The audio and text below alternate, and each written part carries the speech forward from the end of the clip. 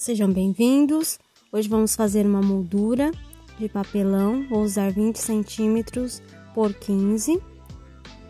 Aqui vou fazer com 2 centímetros a margem em cima e embaixo com um e meio. Vamos recortar essa parte e essa parte aqui nós vamos colar o tecido. Os dois têm o mesmo tamanho.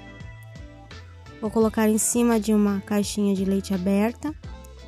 Vou pegar o estilete e é só ir passando em cima do risco. Vou fazer aqui em tudo, aqui eu já fiz, e com a moldura. Coloquei em cima de uma folha de sulfite, vou colocar assim, para medir o tamanho para cortar. Meço assim, dos lados. E aqui eu vou riscar ao redor para ficar mais fácil na hora da colagem. Assim toda a volta. Aqui eu vou medir porque está maior. Vou fazer um risquinho. Aqui do lado a mesma coisa. Meço assim, com a mão mesmo e faço o risquinho na medida. Vou pegar a régua Vou medir aqui quanto deu, marco assim em cima da régua. E agora vou marcar aqui nas laterais. E vou passar um risco. Aqui a mesma coisa, deu a mesma medida. Então, eu só vou marcar aqui o risquinho em cima e embaixo. E vou passar um risco também eu vou recortar aqui em cima, onde eu passei o risco. Já recortei. Aqui nós vamos precisar de duas folhas dessa de sulfite, do mesmo tamanho, tá? Para moldura e para a parte de baixo. Olha só, você coloca assim uma em cima da outra e corta do mesmo tamanho. São duas. Aqui eu vou ensinar como eu colo. Vou usar cola bastão. Coloco em cima do papelão e colo o tecido. Já ensinei a fazer esse tecido pintado com giz de cera e tinta aqui no canal. Vou virar assim as beiradinhas. Aqui, ó, ficou maior, então eu vou cortar um pouquinho. Vou calcular aqui. E nesse risco eu corto. Agora eu vou passar a cola, bastão aqui atrás.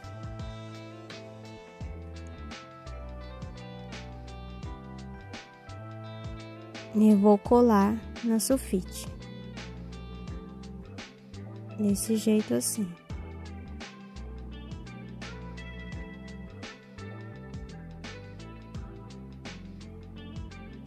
Vou cortar assim dos lados. E vou colar aqui, só que eu vou usar a cola branca. Líquida. Passo assim. Aqui eu vou passar um pouquinho, tá solto. E vou colar.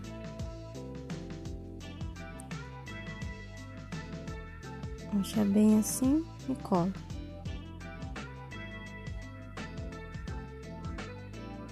Vou fazer aqui nas outras também.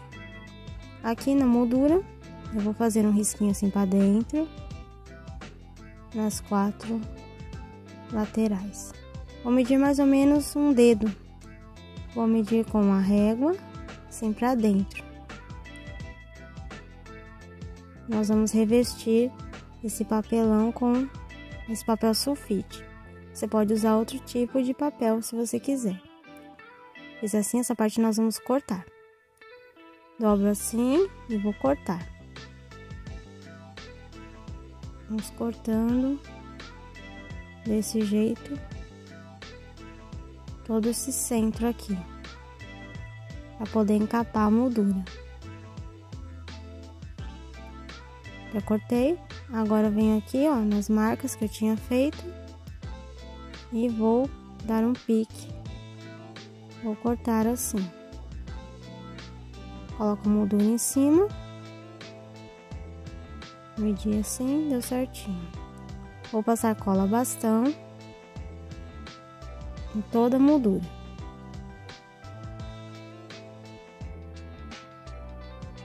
E vou virar para baixo.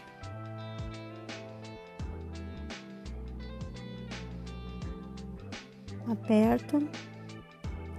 Vou virar aqui ao contrário para alisar, para não ficar com rugas. E aqui, vamos passar cola branca.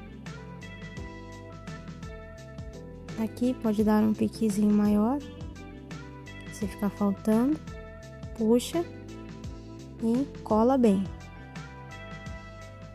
Vou colar aqui nas laterais, que eu já colei. Ficou assim. Agora nós vamos cortar aqui do lado e colar. Vou fazer em tudo e já vou colar. Aqui já colei tudo, ficou desse jeito. Pra ficar aqui a moldura. Vou usar um plástico celofane desses de embalagens. Vou medir aqui em cima da moldura e vou cortar. Pegar uma tesoura de corte plástico e vou cortando assim. Sair do lugar, você coloca de volta, que ele escorrega, segura bem e corta. Aqui deu dois. Ele está duplo. Vou medir aqui, vou ver se dá certo. Um, dois. Vou colocar aqui, fazer o teste. Achei que ficou um pouco opaco.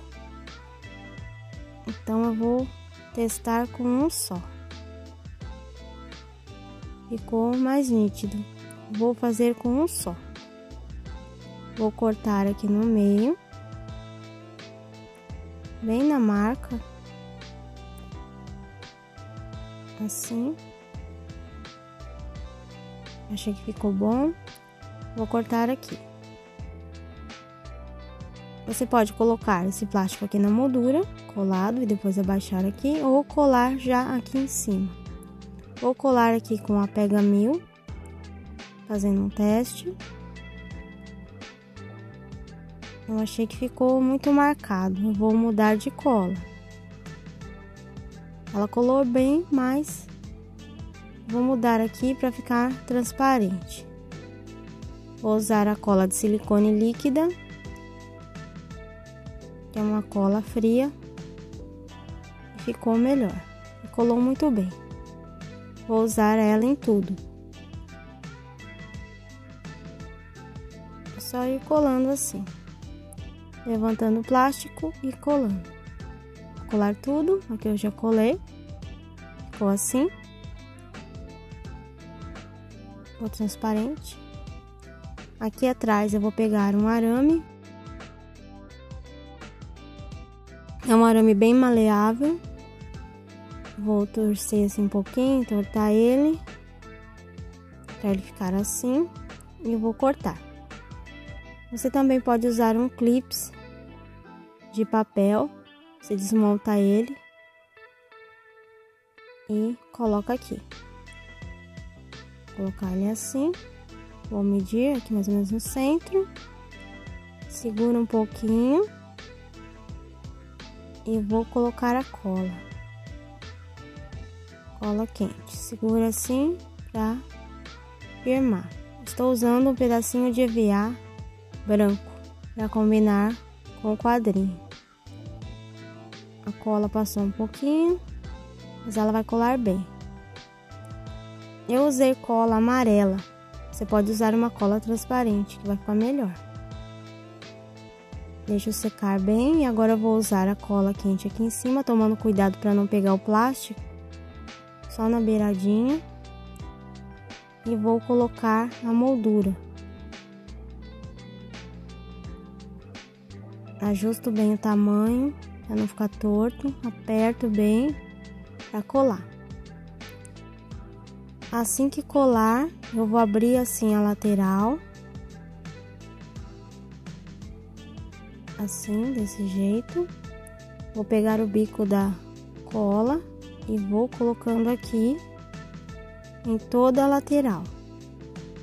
Com bastante cuidado. Toda abertura eu coloco a cola e abaixo para colar bem. E vou passando a mão assim para colar. Assim. Aqui já está colado. Está bem firme, ele é bem levinho, não vai cair com facilidade. Agora eu vou fazer uma decoração com tinta. Estou usando tinta de tecido na cor preta. Vou fazer umas bolinhas. Você já pode usar um papel decorado ou também pode decorar com canetinha. Aí você usa sua criatividade. Fiz umas bolinhas aqui para decorar. Olha só como ficou. Fiz até mais umas bolinhas. Aqui ele já está no prego. Aí fica fácil de você limpar, tirar o pó, não vai estragar a pintura. Espero que vocês tenham gostado. E deixe nos comentários o que vocês acharam dessa aula. Se inscrevam no canal e ative o sininho para não perder nenhum vídeo. Olha só atrás como ele fica. Deixe seu like, Deus abençoe.